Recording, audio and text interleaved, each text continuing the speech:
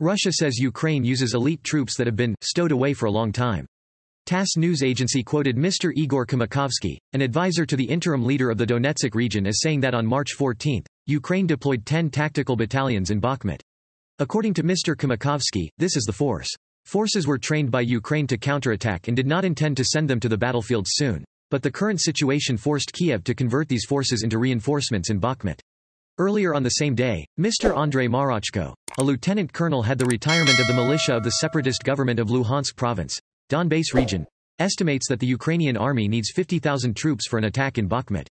Specifically, according to Marochko, Kiev needs up to 50,000 troops to attack in Bakhmut in the direction of Chasiv Yar city. He said the situation in the vicinity of Bakhmut was dangerous because Ukraine could launch a breakthrough counterattack there, but he stressed that Russian forces were determined to prevent such attacks. Ukraine is unlikely to launch an all-out assault on our flanks and Bakhmut from Chasiv Yar in the next two weeks, because, first of all, a major offensive requires Kiev to concentrate its forces on that.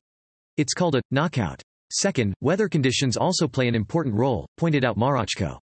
The risk of a Ukrainian attack increases as weather conditions improve with warmer temperatures. More and no rain, he added. Ukraine decided not to leave Bakhmut. The Washington Post, citing information from the Ukrainian military, said that on March 14, a number of Russian attacks in the neighboring cities of Bakhmut were repelled. According to information from the Ukrainian military, Ukrainian forces have been repulsed. Attacked in the Minkivka settlement, about 16 kilometers northwest of the center of Bakhmut, in the village of Ivanivsky, less than 6.5 kilometers southwest of Bakhmut, and in several other settlements. On the same day, Ukrainian President Volodymyr Zelensky and military commanders united to continue to defend Bakhmut, an important front for the fight to defend the eastern territory known as Donbass, including two provinces of Luhansk and Donetsk.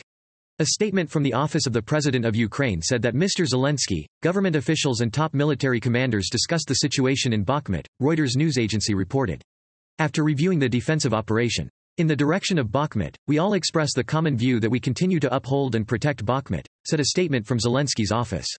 O General Valery Zaluzhny Commander-in-Chief of the Armed Forces of Ukraine, the defense of Bakhmut is of supreme strategic importance. He called the city the key to stability in the defense of the entire front. According to the Ukrinform news agency, after nearly eight months of fierce fighting, Ukrainian forces are besieged in three directions in Bakhmut.